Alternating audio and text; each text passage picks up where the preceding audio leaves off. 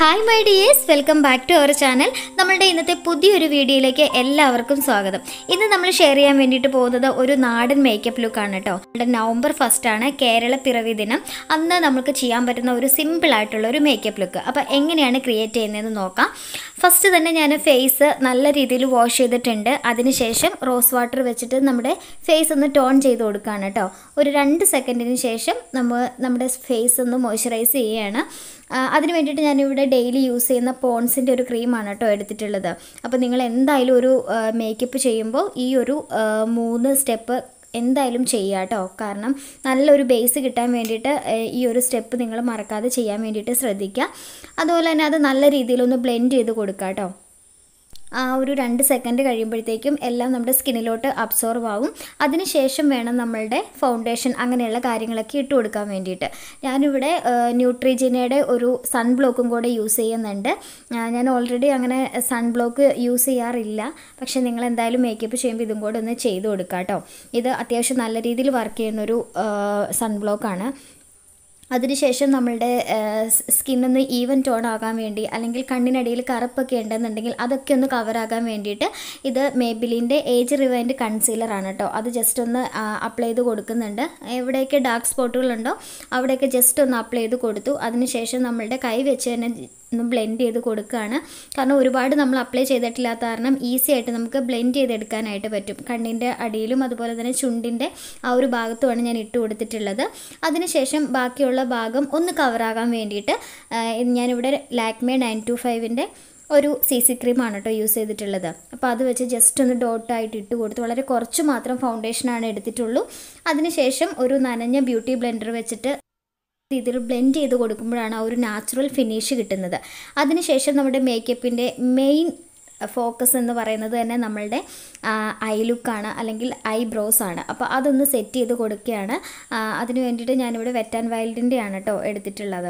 അപ്പോൾ അത് വെച്ചിട്ട് ലൈറ്റ് ബ്രൗൺ ഷെയ്ഡിലുള്ളത് വെച്ച് ജസ്റ്റ് ഐബ്രോ ഒന്ന് ഫില്ല് ചെയ്ത് കൊടുത്തു. അതിനുശേഷം ഇതൊരു നാടൻ ലുക്കായത് കാരണം എന്തായാലും നമ്മൾ കണ്ണെഴുതാതെ പറ്റില്ല. അപ്പോൾ നമ്മൾ ഒരു കാജൽ വെച്ച് ഇത് എ ഡി എസിന്റെ കാജലാണ് കേട്ടോ അത് വെച്ചിട്ട് നമ്മളൊന്ന് ടൈറ്റ് ലൈൻ ചെയ്ത് കൊടുക്കുന്നു. അതുപോലെ തന്നെ കണ്ണിന്റെ അടിഭാഗവും നോർമലായിട്ടൊന്ന് എഴുതി കൊടുക്കുകയാണ്. കണ്ണിന്റെ ഔട്ടർ കോർണറിലോട്ട് ജസ്റ്റ് ഒന്ന് കട്ടി ആയിട്ട് എഴുതി കൊടുത്തിട്ടുണ്ട് കേട്ടോ അപ്പോൾ അതൊക്കെ നമ്മളുടെ ഇഷ്ടമാണ്. ഏത് രീതിയിൽ വേണമെങ്കിലും നമ്മൾ കണ്ണ് എങ്ങനെയാണോ ചെയ്യുന്നത് അതനുസരിച്ച് നമുക്ക് ചെയ്തു കൊടുക്കാം. അതിനുശേഷം എ ഡി എസിന്റെ തന്നെ ഒരു ഐലൈനർ എടുത്തിട്ട് അവിടെയും ഒരു നോർമലായിട്ടൊരു സിംഗിൾ ലൈൻ ചെയ്തു കൊടുക്കുകയാണ് കേട്ടോ അപ്പോൾ നിങ്ങൾക്ക് കട്ടിയായിട്ട് എഴുതണം എന്നുണ്ടെങ്കിൽ കണ്ണ് നല്ല ഭംഗിയുള്ളവരാണെന്നൊക്കെ ഉണ്ടെങ്കിൽ അത് ചെയ്തു കൊടുക്കുക കേട്ടോ അതിനുശേഷം ഈ ഒരു സ്റ്റെപ്പ് നമ്മൾ നേരത്തെ മുന്നേ ചെയ്യേണ്ടതായിരുന്നു. പക്ഷെ ഞാൻ വിട്ടുപോയി. നിങ്ങൾ ലിപ്സ് ഒന്ന് മോയ്സ്ചറൈസ് ചെയ്യാൻ വേണ്ടിയിട്ട് ശ്രദ്ധിക്കുക കേട്ടോ അത് ആദ്യം തന്നെ ചെയ്യുക. നമ്മുടെ ഫേസ് മോയ്സ്ചറൈസ് ചെയ്യാൻ വേണ്ടിയിട്ട് നമ്മൾ പോൺസിന്റെ ക്രീം അപ്ലൈ ചെയ്തില്ലേ? ആ ഒരു ടൈമിൽ തന്നെ നിങ്ങൾ ലിപ്സും കൂടി ഒന്ന് മോയ്സ്ചറൈസ് ചെയ്യുക കേട്ടോ കാരണം നമ്മൾ ലിപ്സ്റ്റിക് ഒക്കെ ഇടുന്നുണ്ടെങ്കിൽ നല്ലൊരു സോഫ്റ്റ് ലുക്ക് കിട്ടാനും അതുപോലെ തന്നെ നല്ലൊരു ബേസ് കിട്ടാനും നമ്മൾ ലിപ്സ് നന്നായിട്ട് മോയ്സ്ചറൈസ് ചെയ്യണം. അത് ആദ്യം തന്നെ ചെയ്തു കൊടുക്കുക അപ്പം ഞാനത് മറന്നു പോയിട്ടാണ്. അതിനുശേഷം ഒരു പൊട്ടും കൂടി വെച്ച് കൊടുത്തിട്ടുണ്ട്. എന്തായാലും സാരി ഒക്കെയാണ് നമ്മൾ സെറ്റ് ചെയ്യാൻ വേണ്ടിയിട്ട് പോകുന്നത്. അപ്പോൾ എന്തായാലും പൊട്ട് വേണം. ഞാനൊരു ബ്ലാക്ക് കളറിലുള്ളൊരു അത്യാവശ്യം വലുപ്പമുള്ളൊരു പൊട്ട് വെച്ച് കൊടുത്തിട്ടുണ്ട്. അതോടുകൂടി നമ്മുടെ ഏകദേശം മേക്കപ്പ് ലുക്കൊക്കെ കംപ്ലീറ്റ് ആയിട്ടുണ്ട്. ഇത്ര തന്നെയാണ് ഞാൻ ചെയ്യാറുള്ളൂ കേട്ടോ അപ്പോൾ നമ്മൾ ലാസ്റ്റ് ആൻഡ് ഫൈനലായിട്ട് നമ്മൾ ലിപ്സ്റ്റിക്കും കൂടി അപ്ലൈ ചെയ്ത് കൊടുക്കുകയാണ് കേട്ടോ. ഇത് ഞാനിവിടെ ന്യൂഡ് ഷെയ്ഡാണ് എടുത്തിട്ടുള്ളത്. നിങ്ങൾക്ക് നിങ്ങളുടെ കയ്യിലുള്ളത് എടുക്കാം. ഓൾറെഡി നമ്മൾ ലിപ് ബാം യൂസ് ചെയ്യുന്നുണ്ട്. ആ ഒരു ലിപ് ബാമിൽ ചെറിയൊരു പിങ്ക് ഷെയ്ഡ് ഉണ്ട് കേട്ടോ. അതുകൊണ്ടാണ് ഞാൻ ലിപ്സ്റ്റിക്ക് ഈ ഒരു സ്കിൻ കളർ തിരഞ്ഞെടുത്തിട്ടുള്ളത്.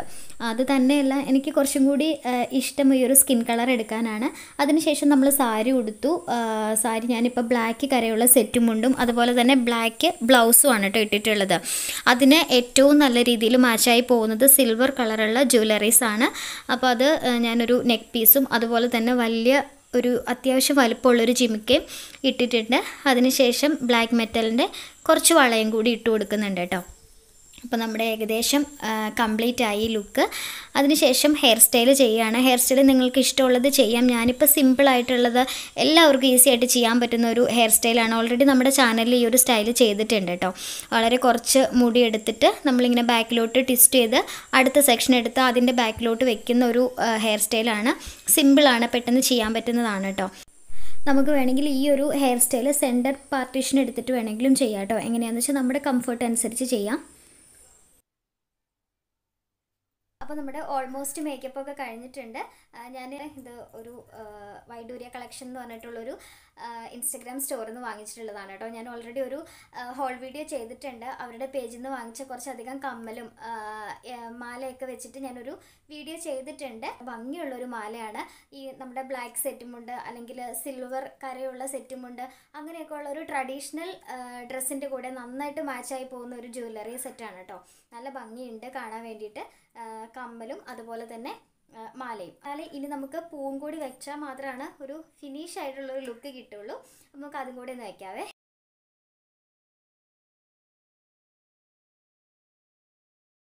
ഞാൻ കുറച്ച് തുളസിയുടെ ഇലയും കൂടെ വെച്ചിട്ട് ഒരു ചെറിയൊരു മാല പോലെ കെട്ടിയിട്ടുണ്ട് കേട്ടോ. അപ്പോൾ ഇതിന് ഇതും കൂടെ നമുക്ക് വെച്ചിട്ട് മുടി ഒന്ന് സെറ്റ് ചെയ്യാം. അപ്പോൾ വളരെ നോർമലായിട്ട് തന്നെ നമ്മൾ മുല്ലപ്പൂവും സെറ്റ് ചെയ്തിട്ടുണ്ട്. മുല്ലപ്പൂവും തുളസിയിലയും കൂടെ ഒരുമിച്ചെടുത്തിട്ട് നമ്മളുടെ മുടിയുടെ അടിഭാഗത്ത് കൂടെ എടുത്ത് സെന്റർ ഭാഗത്ത് സെക്യൂർ ചെയ്തിട്ട് വെച്ചിരിക്കുകയാണ് കേട്ടോ. അപ്പോൾ അത് എല്ലാവർക്കും അറിയാവുന്നൊരു സ്റ്റൈൽ തന്നെയാണ്. അതുപോലെ തന്നെ മുല്ലപ്പൂവും തുളസിയിലയും തമ്മിലുള്ള കോമ്പിനേഷൻ അടിപൊളിയാണ് കേട്ടോ. സെറ്റ് മുണ്ടിന് നല്ല രീതിയിൽ മാച്ചായി പോകുന്നുണ്ട്.